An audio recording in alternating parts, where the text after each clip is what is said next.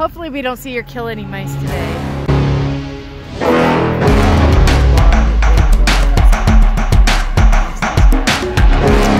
This is the TMG Industrial.